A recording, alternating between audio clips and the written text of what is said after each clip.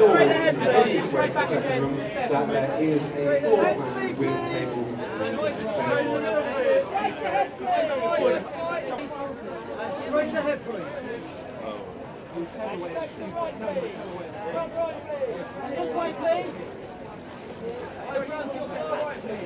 slightly to the left, please. Slightly, Thank you. Could you just take very small steps? Just begin to walk.